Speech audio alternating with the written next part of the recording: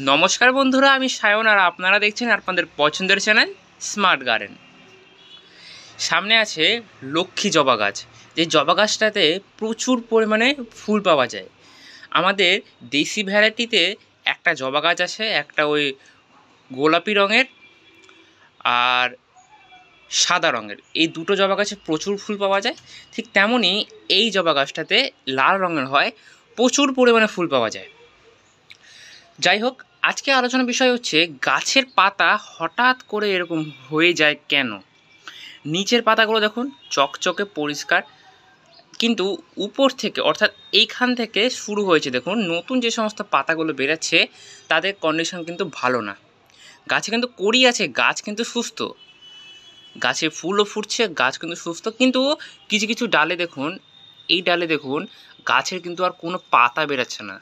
ডালটা কেমন টাইপের হয়ে গেছে কুকড়ানো টাইপের আবার ঠিক এই জায়গাটাতে দেখুন, গাছের এখানে কিন্তু পোকা লেগে আছে।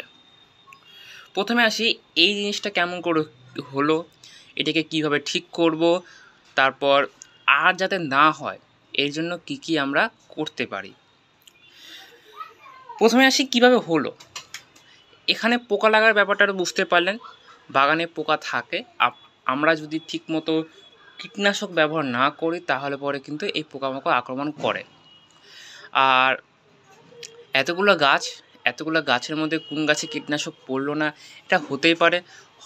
হয়তো এই সম্পূর্ণ ডালে পড়ল, এই ডালে পড়ল না। দেখুন, গোটা ডালে কিন্তু কোনো পোকামাকড় নাই, শুধু এই ডালটাতে আছে আর এই ডালটাতে আছে। বাকি ডালগুলো পরিষ্কার আছে। এটা হতেই পারে, অসুবিধা নাই। তবে এখন যে সমস্যাটা হচ্ছে, এটাকে ঠিক করব কীভাবে? ঠিক করার উপায় আছে আমরা যদি গাছে দ্রুত গতিতে জল দিই, এখানে দ্রুত গতিতে যদি জলে স্প্রে করি, সমস্ত পোকা কিন্তু ঝরে পড়ে যাবে এটা করে দেওয়ার পর আমরা ঠিক তারপরের দিন গাছে একটা কীটনাশক স্প্রে করব। সেটা কাকা হতে পারে, এই সুপারসোনাটা হতে পারে, টাফগড়, রোগড়, ইমিডাক্লোরোপিড, যেটা খুশি আমরা গাছে স্প্রে করব। ইমিডাক্লোরোপিড এক এক লিটার জলে আমরা পনেরো ফোঁটা দিব, আর বাকি যে সমস্ত কীটনাশক আমরা কুড়ি ফোঁটা দিয়ে গাছে ভালো মতো করে গাছটাকে স্নান করে দেবো। আর হ্যাঁ কীটনাশক ব্যবহার করার আগে মাথায় রাখব যে গাছে নিচের পাতা, আবার উপরে পাতা, দুটো পাতাটা কিন্তু স্প্রে করব। শুধু উপরে পাতাটা স্প্রে করলে হবে না, নিচের পাতাতে পোকামাকড় বাসা করে থাকে। দেখুন, সাদা সাদা হয়ে আছে, অর্থাৎ এখানে কিন্তু পোকামাকড় বাসা করে আছে। তাই কীটনাশক ব্যবহার করার সময় নিচের পাতাও দিব, আবার উপরে পাতাও দিব। চলে আসি এবার এই জিনিসটা কেন হলো? যদি জল বেশি হয় মাটিটার মধ্যে জলটা যদি শুকোচ্ছে না বা দুদিন তিন দিন টাইম লাগছে, তাহলে পরে কিন্তু এই সমস্ত জিনিস হয়। জলের কারণে হয় যদি জলটা বেশি হয়ে যায়। ধরুন আপনাদের মাটিটা শুকোচ্ছেই না। তিন দিন, চার দিন হয়ে গেল, গাছের মাটি শুকোচ্ছে না। সেই কারণে কিন্তু এই জিনিসটা হয়। আবার এই শুকোচ্ছে না, এর আবারও আপনারা যদি টবের মধ্যে জল দিয়ে দেন, তাহলে পরে কিন্তু আরও ক্ষতি হয়ে যাবে। একটা কথা বলছি, যাদের এই সমস্ত প্রবলেম দেখা যাচ্ছে যে মাটি শুকোচ্ছেই না, তাহলে তারা কি করবেন? মাটিটাকে ভালো মতো করে খুঁড়ে দিবেন। যেমন খাবার দেওয়ার সময় যেমন মাটিটা খুঁড়েন, খুঁড়ে দিয়ে যেখানে সম্পূর্ণ রৌদ্র আসে, সেইখানে রেখে দেবেন। রেখে দেওয়ার পর দেখবেন মাটিটা কিন্তু আস্তে আস্তে করে শুকিয়ে যাবে। দুদিন টাইম লাগবে, শুকিয়ে যাবে। তারপর আপনারা বুঝে গেলেন যে এই গাছটার ক্ষেত্রে বেশি জল দিব না, অল্প জলে হয়ে যাবে। তারপর আপনারা অল্প অল্প জল করে দিতে দিতে গাছটা দেখবেন ঠিক হয়ে যাবে। আচ্ছা তাহলে বোঝা গেল এই জিনিসটা কেন হয়? এটা আরও অনেক কারণ আছে। আপনারা আপনারা যদি গাছে খাবার বেশি দিয়ে ফেলেন, তাহলে পরে কিন্তু এই সমস্ত সমস্যা দেখা যায়। ঠিক আছে। এটাকে ঠিক করব কীভাবে? এখানে পাতার সমস্যা হয়েছে। পাতা তার, পাতার রঙটা চলে গেছে। সবুজ ভাবটা কমে গেছে। অর্থাৎ ম্যাগনেসিয়াম সালফেটের অভাব হয়েছে ম্যাগনেসিয়ামের তো আমরা যদি ম্যাগনেসিয়াম সালফেট গাছের গোড়াতে দিয়ে দিই, তাহলে পরে কিন্তু এই সমস্ত সমস্যা ঠিক হয়ে যাবে। কিন্তু একটা কথা, এই পাতাটা কিন্তু আর ঠিক হবে না। নতুন যে পাতাগুলো বেরাবে, সেই পাতাগুলো ঠিক বেরাবে। আমরা আমরা যদি এই পাতাগুলোকে ঠিক করতে চাই কিছুতেই ঠিক হবে না। আমাদেরকে একটাই কাজ করতে হবে, এগুলোকে কেটে দিতে হবে। আর গাছটাকে যত কাটবেন, গাছটা তত ভালো হবে। তাই গাছটাকে একভাবে কেটে দিন। আমাকে একজন প্রশ্ন করেছিলেন যে, আমার কাছে একটা কাগজ ফুলের গাছ আছে, দুটো ডাল আছে গাছটাকে কীভাবে কাটবো? কিচ্ছু করতে হবে না। দেখুন, এখানে ডাল আছে দুটো একটা ডাল এই একটা ডাল। এই দুটো ডালে কীভাবে কাটবে? এখান থেকে কেটে দিন, অসুবিধা নেই। এখান থেকে কেটে দিন। ব্যাস, এইভাবে আর কিচ্ছু না। কিচ্ছু মাথা ব্যথা নাই এখানে। ঠিক আছে, আমি এই গাছটাকে ভালো মতো করে কেটে আপনাদের সঙ্গে কথা বলছি। আর একটা জিনিস দিতে হবে মাটির মধ্যে, সেটা ব্যাপারেও আলোচনা করছি।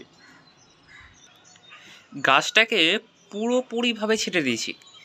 এইভাবে করে কিন্তু ছাড়তে হবে, আর কিচ্ছু নাই। সহজভাবে, বেশি কিছু না, গাছটাকে সমানভাবে একটা শেপ দিয়ে আপনাদেরকে কাটতে হবে। ব্যাস, এইটুকুই।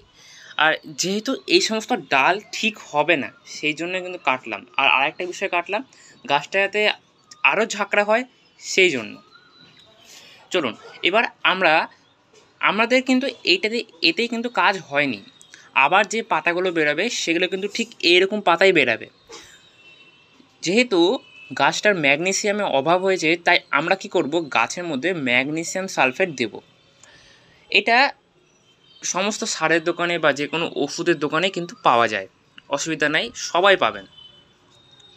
আর বর্ষাকালে কিন্তু এই সমস্ত জিনিস হয়, এই আগাছা হয়, তারপর এই যে পাতা রোগটা, এই পাতা রোগটা হয়। তো যেটা হচ্ছে হবে, ওটা হতেই, ওটা না হলে পরে গাছ কিন্তু ভালো হয় না। আমি দেখি পোকামাকড় লাগবে তারপর গাছে এই সমস্ত সমস্যা হবে, তার ফলে কিন্তু গাছটা ভালো হবে। ঠিক আছে, প্রথমে মাটিটা কিন্তু খুঁড়বো।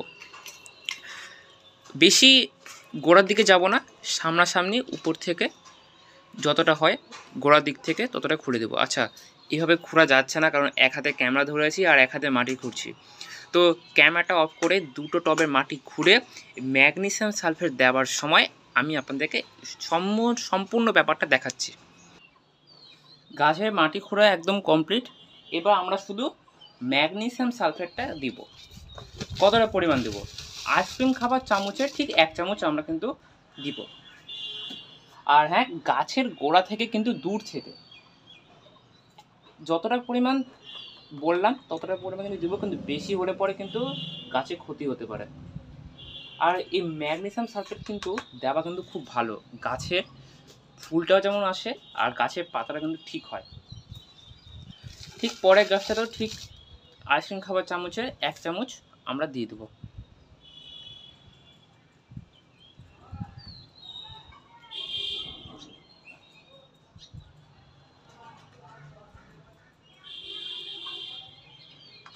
ঠিক আছে। দেওয়া কমপ্লিট এবার আমরা মাটিটা দিয়ে এটাকে ঢেকে দেব। এরপর আমরা জল দিয়ে দেবো। কিন্তু যেহেতু মাটিটা ভেজে আছে, তাই আমরা কিন্তু এখন জল দেবো না বিকালবেলা জল দিয়ে দেবো বা তারপরের দিন। এই সময় যদি আবার জল দিই, আবার শুকোতে টাইম লাগবে, তা ক্ষেত্রে আমি বলব এখন কোনো জল দিব না। যখন এই জিনিসটা শুকিয়ে যাবে, তারপর আমরা জল দিয়ে দেবো। অসুবিধা নেই। ঠিক আছে। এই পাতাটা ঠিক হতে কদিন টাইম লাগবে? মোটামুটি পনেরো দিনের মধ্যে নতুন পাতা আপনারা এরকম চকচকে পেয়ে যাবেন, অসুবিধা নাই। এরকম চকচকে। আর এই সময় গাছটাকে জলটা একটু মেনটেন করবেন, জলটা কম দিবেন কারণ জলটা বেশি ধরে রাখছে এই সময় এরকম জিনিস হয়। টবের ড্রেনেজ সিস্টেমটা ঠিক মতো করতে হয়, তাহলে কিন্তু এরকম সমস্যা হয় না। আমি প্রত্যেকটা ভিডিওতে বলি যে টবের ড্রেনেজ সিস্টেমটা ঠিক মতো করতে। আর গাছকে পুরোপুরি ফুল সানলাইটে রাখতে হবে, পুরোপুরি। যাতে মাটিটা ভালো মতো শুকোয়। ঠিক আছে। আজকের ভিডিওটাই এ পর্যন্তই। সবাই ভালো থাকুন, সুস্থ থাকুন এবং হাসি, আনন্দে থাকুন। ধন্যবাদ। আপনার দিনটি ভালো হোক।